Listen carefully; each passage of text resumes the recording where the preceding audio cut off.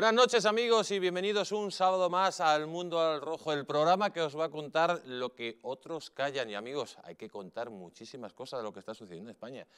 Hemos empezado ya la campaña electoral. Esa campaña electoral, amigos, que puede ser decisiva ese 28 de abril, donde España se juega a todo y donde ustedes tienen que tener en cuenta que si votan a alguien tiene que ser algún partido que defienda sobre todo la unidad de España y la Constitución y sobre todo la igualdad entre todos los españoles. Si no, amigos, si, ese partido que ustedes quieren votar no va a defender nada de eso, no merece ni la pena. Hoy hemos preparado un auténtico programón, porque ¿se acuerdan ustedes lo que está pasando en Venezuela? Hoy vamos a tener aquí a verdaderos expertos que nos van a hablar de esa situación que está pasando en Venezuela y la llegada de soldados chinos y soldados rusos, amigos, que tensa todavía más la situación internacional con respecto a Estados Unidos. Y para hablar del programa de hoy, pues tenemos unos super invitados como todas las semanas con nosotros estará don Carlos Cuesta, amigos, que nos va a hablar también de la financiación de Podemos desde Venezuela. Don Roberto Centeno, cómo no, el gran profesor que va a poner los puntos sobre así. Y el doctor don José María Aguilar, de la Casa de Aguilar, que también va a estar con todos nosotros. Un auténtico programón, amigos, que no se lo tienen que perder. Y en primer lugar, permítanme, permítanme darles las gracias porque el mundo al rojo por segunda semana consecutiva ha sido tendencia en YouTube. Gracias amigos que ustedes hacen posible que todo esto pues funcione con su presencia detrás del televisor. Es, yo creo, un, un, orgullo que todos ustedes nos sigan y que sobre todo vean esa realidad, esa realidad que sucede en España que otros medios, como decimos en otras ocasiones, ocultan. Amigos, saben que nos pueden ver también en la TDT de Madrid, en las frecuencias 45 y 57. Si ustedes están fuera de Madrid, pues nos pueden ver online en dobles, ahí lo tienen, eldistrito.es o www.distritotv.es. También nos pueden seguir, como no, en el canal de YouTube. Son millones los seguidores, millones las visualizaciones, más de 42.000 personas, de suscriptores que tenemos ya, un auténtico éxito el canal de YouTube, donde ustedes pueden ver todos nuestros programas y además recibir información constantemente durante todo el día de lo que está sucediendo en España. Un auténtico canal de comunicación eh, directo que llega a su teléfono, a su ordenador y también a sus Smart TV. También nos pueden seguir en Twitter en arroba mundo rojo y en hashtag el mundo rojo o en Facebook en Distrito Televisión. Y como no, pueden mandar todos sus mensajes, ahí lo tienen en el teléfono, en pantalla, en, al WhatsApp, al 669-728673. También tenemos que saludar a nuestros amigos de Aragón, de la 8 de Zaragoza, que nos están viendo, y el canal 52. Un fuerte abrazo a todos y bienvenidos a este programa que empieza en estos momentos. Hablábamos que empezar la campaña electoral. Una campaña electoral que es muy decisiva, es verdad, todas son muy decisivas, pero esta que parece que es más. Pero es una campaña electoral donde, de nuevo, partimos de un punto de partida, amigos, que es una partitocracia. Pase lo que pase, la partitocracia va a seguir funcionando en España. Y en España la partitocracia nos ha tenido unas consecuencias muy lamentables, porque al final ustedes no eligen al político que ustedes quieren, sino son los partidos políticos los que hacen listas cerradas y con lo cual usted al final no vota a la persona que quiere. El otro día, comiendo con un, amigo mío, me decía que si esto pasara en su país, la gente se estaría manifestando. Día sí y día también. Y aquí en España lo estamos consintiendo, porque la base de lo que está pasando, de la ruina moral y económica que está sucediendo en España, amigos, ¿cuál es esa base? Pues que está llegando al poder la inectocracia. El gobierno de los inectos. Lo vemos ahora mismo en el gobierno de Pedro Sánchez. Ese gobierno formado por un presidente del gobierno que dice que ha hecho una tesis que al parecer no ha hecho. Y además se la ha hecho otro. Y al parecer dice que es doctor, pero amigos, será doctor de estos cuando éramos pequeños que jugábamos con el, doctor este que metía la teclita a ver si le picaba. Luego tenemos unos ministros que son de escándalo. La vicepresidenta del, gobierno, esa que dice que es hermana de los, gitanos, Carmen, ¿eh? la prima, pues un auténtico género político, pero es que luego vamos viendo el resto de ministros que tenemos y tiene como consecuencia que España, amigos, está de nuevo al borde de la recesión. Y es que no ha pasado todavía ni cinco años que hemos empezado a recuperarnos y de nuevo nos meten en una recesión. ¿Por qué sucede todo esto? ¿Por un gobierno del Partido Socialista? Hombre, cuando llegan los socialistas generalmente se complica todo y dejan España arruinada. Pero principalmente es la estructura principal, el concepto principal. Si nosotros eligiéramos a nuestros representantes directamente, seguro que nos dejaríamos guiar por su capacidad intelectual, por su experiencia y por su currículum. Pero no, al final son los partidos políticos los que ponen y quitan a uno. Consecuencia, pues un país maravilloso como España, uno de los principales países del mundo, pues que está viviendo de nuevo una situación crítica. Una situación crítica, amigos, que todavía vemos en Cataluña y hemos visto pues esta semana por ejemplo cómo en la Universidad de Cataluña pues los radicales los totalitarios pues no quieren que haya libertad no quieren que haya pensamientos diferentes al suyo todo esto pasa mientras el gobierno socialista de Pedro Sánchez, un gobierno socialista que parece que va a ganar las elecciones. Es cierto, parece que va a ganar las elecciones. Todas las encuestas le dan ganador. Encima hay encuestas que le dicen que puede gobernar con todos los totalitarios o, por ejemplo, con ciudadanos. Pedro Sánchez tiene una situación de ventaja total. ¿Por qué? Pues también, amigos, hay que hacérselo pensar. ¿Por qué Pedro Sánchez, ese presidente que en ocho meses ha hecho esas aberraciones, ahora mismo es el que va a ganar las elecciones. A lo mejor tendríamos que ver cómo son las campañas políticas de la oposición. Unas campañas que, amigos, son un poco lamentables, porque el centro derecha se está matando entre sí. Y mientras, Pedro Sánchez frotándose las manos. Puede que haya un susto para Pedro Sánchez, porque dicen que hay un 38%, amigos, un 38% de indecisos. Pero, de momento, Pedro Sánchez ha empezado la campaña como caballo ganador. Veremos lo que pasa en estos días de campañas. Y recuerden, amigos, que la verdadera libertad consiste en estar bien informados.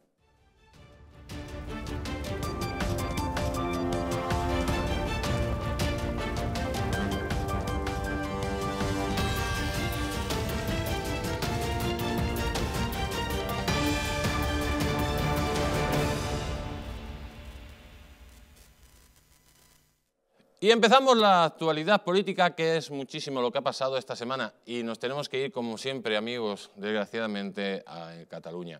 Esa Cataluña, ahí lo tienen, donde Cayetana Álvarez de Toledo pues, plantó cara a la agresión de 200 estudiantes separatistas. En Cataluña, amigos, ya no hay libertad. En Cataluña no hay democracia. El Estado español ha permitido que un totalitario se mantenga en el poder ha permitido durante 40 años que se cree un estado eh, de odio contra el resto de España. Eso lo ha permitido el Estado español. Y ahora, en estas circunstancias como vivimos actualmente, todavía más, porque el socio prioritario de Pedro Sánchez es el culpable de todo eso. Y los socios de Torra también son culpables. Ahora mismo usted va por Cataluña y por llevar una bandera de España le pueden matar. O como poco darle una paliza o tirarle por las escaleras de metro, como lo hemos visto. Usted va a la Universidad de Cataluña a dar una charla de lo que sea y llegan estos engendros políticos, paniaguaos, estas bestias pardas, y se lanzan contra usted para machacarle. ¿Eso es libertad? ¿Eso es democracia? ¿O esto lo contrario? Porque recuerden amigos, cuando falta España, llegan los totalitarismos. Lo vemos en Cataluña, lo vemos en el País Vasco, ya estamos viéndolo en Navarra. Y hay regiones ya también como Baleares y Valencia donde los totalitarios van avanzando. Y mientras tanto, el centro derecha a mamporro limpio. Pero cambiamos de tema y vamos a hablar de un tema que ha sido exclusiva en OK Diario. Estamos hablando nada más y nada menos del exministro de Finanzas venezolano que denunció a la Interpol los pagos a la fundación de Pablo Iglesias. Eh, estamos hablando de Rafael Isea, exministro de Finanzas, y en la época de Hugo Chávez, y al parecer pues, eh, este ministro ha denunciado los pagos a la famosa fundación CES. Este señor denunció a la Interpol las relaciones entre Venezuela y los fundadores de Podemos. Al parecer, eh, según se ha denunciado en este artículo de OK Diario, pues se ha estado financiando Podemos ilegalmente con dinero extranjero. Se dice que es de Venezuela, dirán incluso de otros países totalitarios. También está metido en este fregado el señor Arrajón, que lógicamente es el señor Errejón, así le llamaba el exministro de Finanzas, porque al parecer eh, todos los que estaban en la Fundación CES, amigos, que recibieron unos 7 millones de euros, pues cuando se fundó Podemos salieron todos. ¿Cómo es posible, cómo es posible, amigos, cómo es posible que un partido español esté financiado por tiranías extranjeras? ¿Qué intenciones tienen esas tiranías extranjeras para financiar presuntamente a un partido español? ¿Qué es lo que quieren? ¿Crear un Estado como Venezuela? ¿Un narcoestado venezolano? ¿Una teocracia como Irán? ¿Eso es lo que pretende el Partido Morado? ¿Estos que vienen del comunismo más rancio y casposo, amigos? Yo creo que esto, esto es muy grave porque que haya naciones extranjeras interfiriendo en la política española, amigos, es determinante. También hemos visto, también hemos visto con el golpe de Estado en Cataluña, cómo estas naciones, como por ejemplo Venezuela, eh, Irán, etcétera, pues han estado detrás del golpe de Estado y de alguna forma apoyan. ¿Por qué apoyan? Por una sencilla razón, porque lo que quieren es desestabilizar España y de esa forma desestabilizar Europa. Porque así son estos países totalitarios. Pero amigos, ¿quién mejor para hablar de este tema que don Carlos Cuesta, que lo tenemos al otro lado del teléfono? Buenas noches, Carlos. Muy buenas, ¿cómo estáis? En primer lugar, felicitarte por esta eh, nueva exclusiva. Sabemos que todas las semanas, bueno, casi todos los días nos estás sacando exclusivas, pero yo creo que lo que has sacado en OK Diario esta semana sobre la financiación de Podemos, pues eh, clama al cielo, ¿no? Clama al cielo, no, totalmente, porque tiene todos los visos, y además así eh, fue comentado, eh, uno de ser evidentemente real, porque quien entrega la documentación es un exministro mano derecha, exministro de Finanzas, mano derecha de Hugo Chávez en aquel momento, que además luego casualmente esta persona pasa a ser el presidente del Banco Alba, si recordáis, qué casualidad, el banco al cual le carga los famosos 425.000 euros monedero por el informe fantasma que nunca llega a aparecer. Bueno, pues esta persona habla directamente y va desglosando todos los pagos que recibían, cómo se realizaban, quién los eh, percibía y quién los tramitaba. Es decir, la información viene directamente dentro de Venezuela y de una persona que en aquel momento no era sospechosa de nada. En estos momentos esta persona es un testigo protegido, lo protege la DEA, la agencia eh, antidroga norteamericana, y en estos momentos está como testigo protegido de la Interpol, precisamente por el valor de este tipo de declaraciones. Eh, Carlos, eh, esto ya había ya claras sospechas de que Podemos, además todos sus dirigentes habían sido asesores del gobierno de Hugo Chávez, son responsables directos de lo que está pasando en Venezuela. Pero además hay una cosa muy sospechosa, esos 7 millones de euros que la Fundación CES recibe, que eh, luego inmediatamente cuando se forma Podemos todos salen de esa fundación. ¿Dónde fue ese dinero de la Fundación CES? ¿Cómo llegó a financiar de alguna forma Podemos? Él, Rafael Isea, el que fuera ministro de Finanzas, lo relata en esos documentos, que además eh, los entrega porque hay una delegación de la Policía Española que acude a entrevistarse con él cuando ya es testigo protegido y está en Estados Unidos y le entregan esa documentación. Pero hay que recordar que además esa documentación está entregada directamente a la Interpol. O sea, eso lo ha dicho directamente ISEA, es decir, se la ha entregado a la Policía Internacional por la posible existencia de, de un caso de corrupción internacional. O sea, estamos hablando de cosas muy graves. Y él, en esas explicaciones de qué era lo que ocurría con este dinero, lo dice abiertamente. Dice, nosotros entregábamos, en concreto, 7,16 millones de euros y lo entregábamos a la Fundación CEPS ¿Quién estaba en aquel momento en la Fundación CEPS como receptores del dinero? Cita a dos personas, a Pablo Iglesias y a Juan Carlos Monedero. ¿Qué se hacía con ese dinero? También lo explica ISEA. Dice, una parte, dice, es verdad que era por las labores de asesoría que desarrollaban para el gobierno venezolano, para el gobierno de Hugo Chávez. Pero, y lo dice él expresamente, se incluía dentro de ese dinero un segundo fin, que posiblemente incluso estaba conectado con el primero.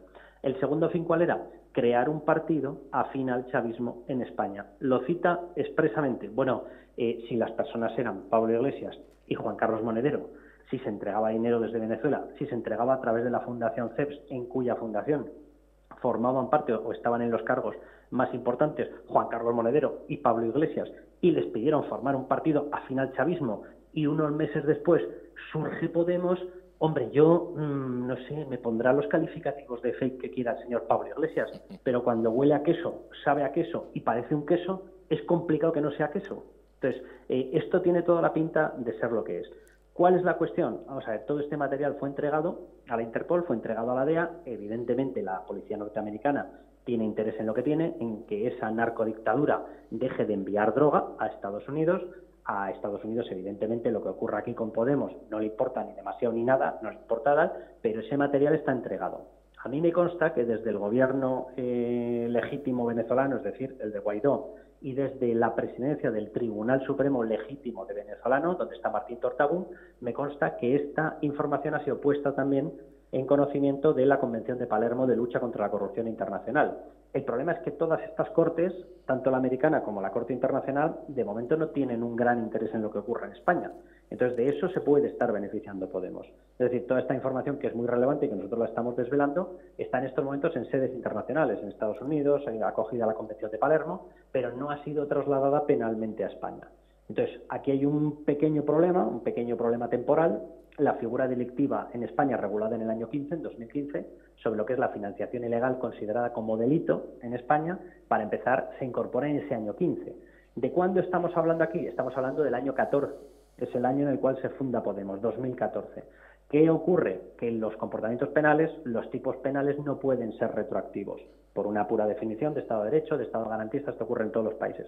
Resultado, Podemos, Pablo Iglesias, Juan Carlos Monedero, Íñigo Rejón, que también aparece citado en otros de los fragmentos, se librarían porque no estaría establecido el delito de financiación ilegal en ese momento. Ahora, si vamos a cuestiones de moral, si vamos a cuestiones de explicación de qué es lo que ha ocurrido, estos señores que van calificando a todo el resto del universo de los partidos más corruptos de Europa, hombre, oiga, perdóneme, pero hay material depositado en cortes internacionales, hay material depositado en la Policía Internacional, hay material depositado en la Policía eh, norteamericana, en la DEA, eh, que a ustedes nos retratan de una tesitura y de una caladura moral ínfima.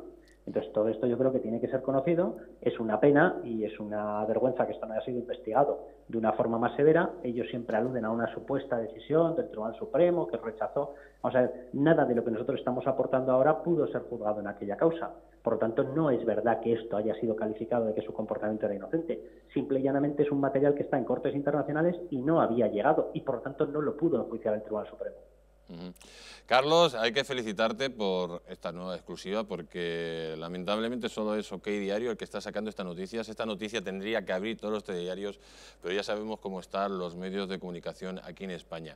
Eh, Yo, sí, Jesús Ángel, ya, eh, a nosotros nos ha tocado en, OK Diario el, el aguantar el chaparrón, que nos llamen de todo, que nos insulten, que carguen contra nosotros yo se lo digo a toda la audiencia, te lo digo a ti, la verdad que nos importa muy poco. O sea, nosotros queremos una cosa que se llama la verdad y creemos en otra cosa que se llama España. Entonces, si hay un enemigo que miente y encima es un enemigo de España, lo tenemos clarísimo. Entonces, sabemos perfectamente que la pelea va a ser dura, pero que también estamos aquí por eso, para que la pelea sea dura y aguantemos.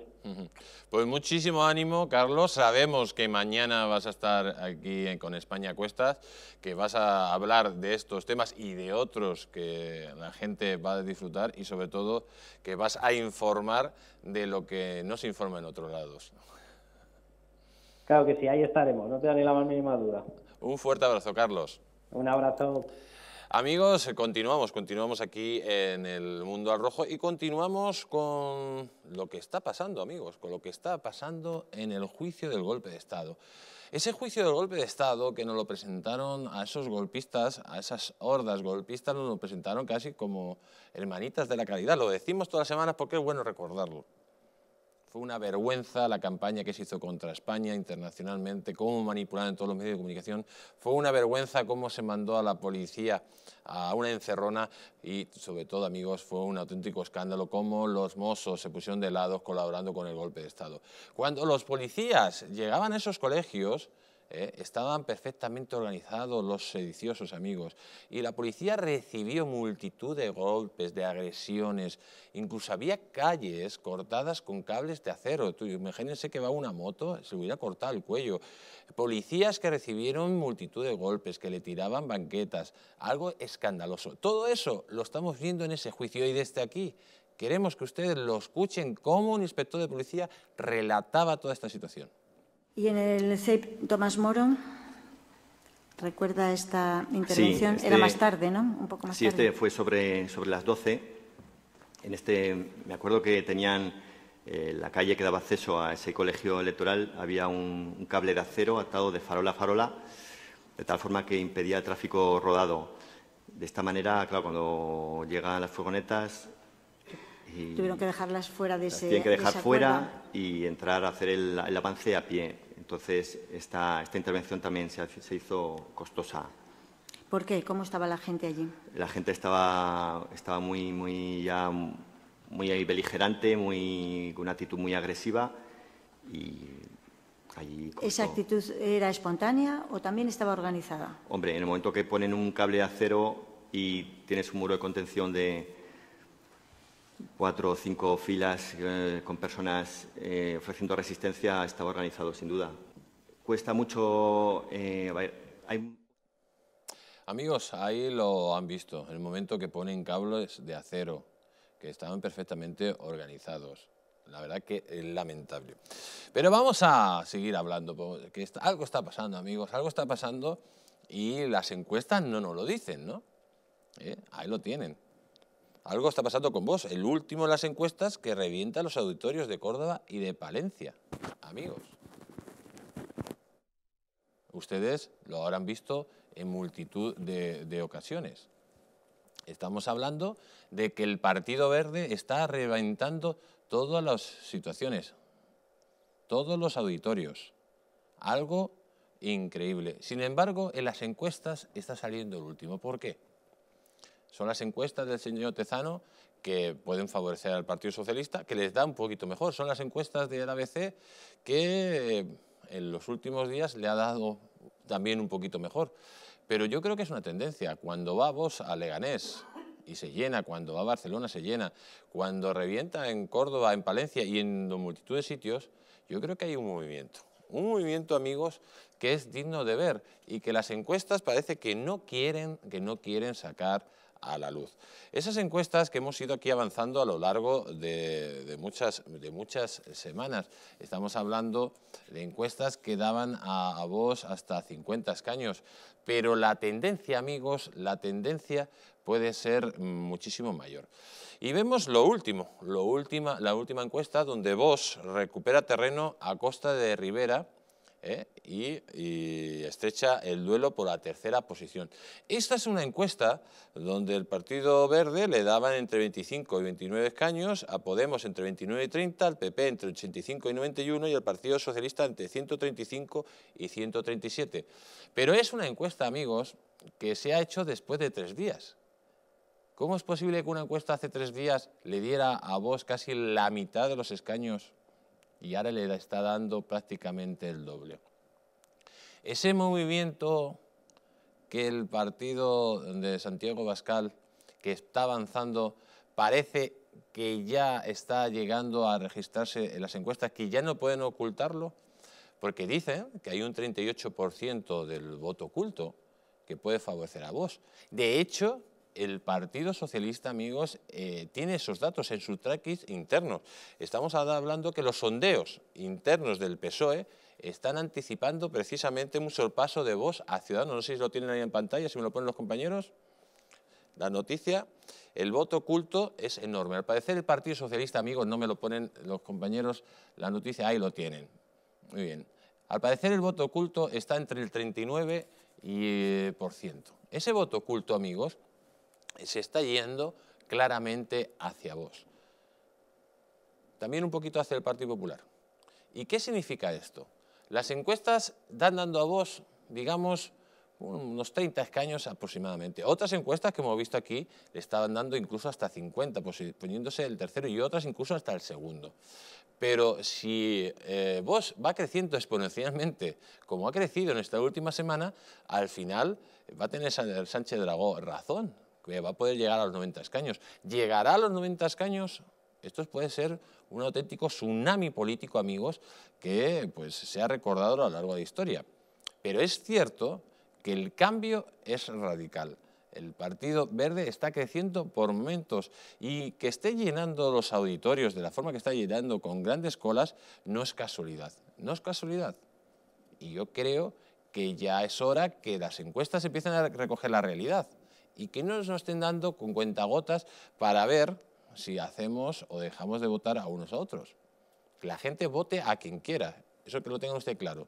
Vote a un partido a un partido de centro derecha, al Partido Popular, a vos o a Ciudadanos, porque lo que se trata, amigos, aquí es de salvar a España. Desgraciadamente, las encuestas todas están dando un resultado muy negativo para el centro derecha, ya que Pedro Sánchez sale en todas ganador. Eso sí que es una tendencia, con un 30% de los votos. Puede que solo haya un cambio si ese voto oculto pues, sale a reducir el 28 de abril, pero amigos, eh, hasta hoy solo podemos dar tendencias, encuestas, algunas manipuladas, otras menos. No sabemos lo que va a pasar. Vamos a seguir, amigos, vamos a seguir porque hay una noticia que yo creo que ustedes tienen derecho a saberla, que no ha salido en ningún medio de, comunicación. Esa es la noticia donde Cataluña pide perdón a México por el genocidio español. Ahí la tienen, la noticia. Al parecer, el consejero de Acción Exterior de la Generalitat de Cataluña, Alfred Bosch, realizaba esta semana una intervención en el Parlamento catalán en el que condenaba los abusos cometidos por el colonialismo español ha dicho que los catalanes deben reconocer la implicación de sus antepasados en la conquista de América. Bueno, este pobre hombre, amigos que no sabe dónde está parado, tiene que decir cualquier cosa para ver si sale en, la televisión. Hombre, en este caso sale precisamente por decir una estupidez con un piano. España no tiene que pedir perdón por crear una civilización, lo hemos dicho. España no tiene que pedir perdón por llegar a un continente y crear más de mil ciudades en un solo siglo. España no tiene que pedir perdón por llevar la cultura, la literatura, la escritura, las universidades, los hospitales, las grandes obras hidráulicas. Y España no tiene que pedir perdón por haber dejado un legado como la civilización España. El señor vos, amigos, porque hay tontos en todos los lados y tiene que siempre pues, salir con alguna estupidez de este tipo. Pero para estupideces, amigos, para estupideces es lo que luego vamos a ver, porque tenemos ahora un programa que va a venir don Roberto Centeno y don José María Aguilar, donde vamos a ver las medidas económicas de Podemos. Ustedes no se lo pueden perder, son medidas totalmente alocadas. Desde dar un sueldo de 600 euros hasta 1.200 euros a todas las personas, hasta subir los impuestos más de 40.000 millones de euros anualmente. Esto es de locos. ¿Sabes lo que nos llevaría a todo esto? Sí, precisamente, nos llevaría a la Venezuela de Maduro. Nos vamos unos instantes a publicidad y volvemos, amigos.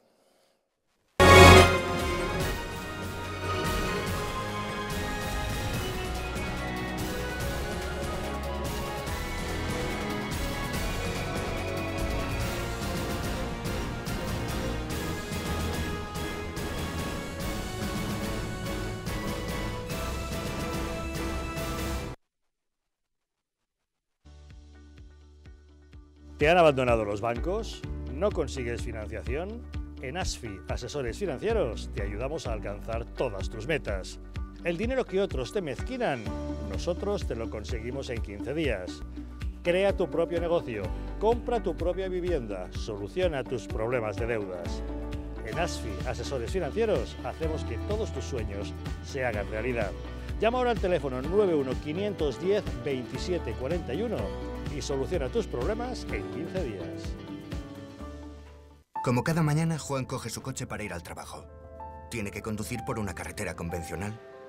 Es un tipo precavido y suele circular a 90, a pesar de que la carretera pone otra cosa. Vaya, ¿y esta piedra? ¿De dónde ha salido? Bien por los precavidos.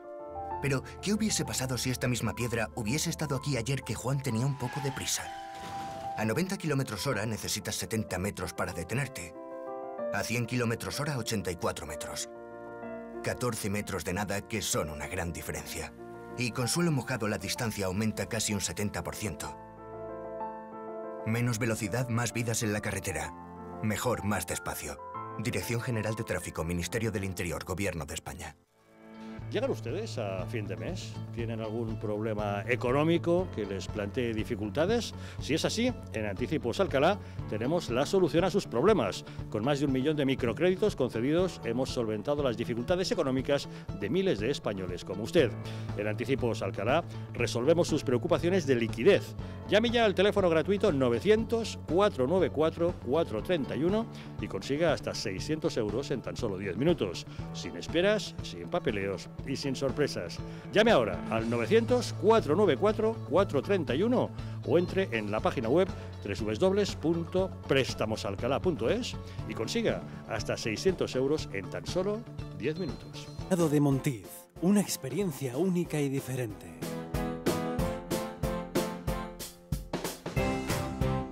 Basados en la gastronomía tradicional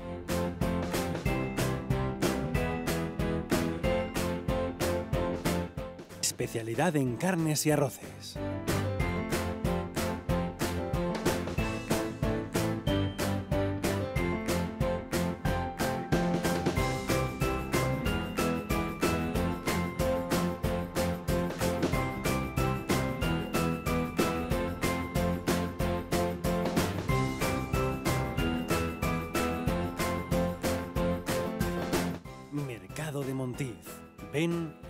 De un momento único.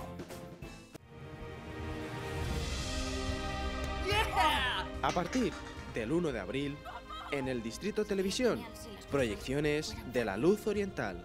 Se transmitirá varias películas maravillosas en los lunes, martes y domingos a las 16.30 horas. A continuación, la luz oriental en el Distrito Televisión.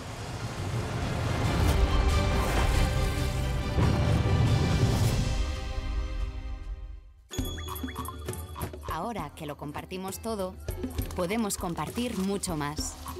Podemos acabar con el hambre en el mundo. En Manos Unidas desarrollamos proyectos en 60 países para conseguirlo. Plántale cara al hambre. Comparte lo que importa.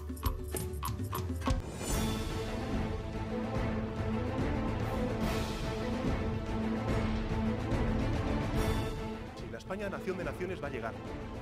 Visca Cataluña, lliure y soberana. Diré que yo soy el endacari más peligroso para sus intereses. Independiente en forma de república. Todos estos que acaban de ver hablan mucho, muchísimo, posiblemente hasta demasiado en el resto de canales. Y se les hace una crítica, pero pequeñita. Aquí va a ser al revés, en Distrito TV va a ser al revés. Aquí ellos van a poder hablar, por supuesto, pero la crítica va a ser mucha, muchísima, va a ser tremenda. Con España cuesta todos los domingos de 10 a 12.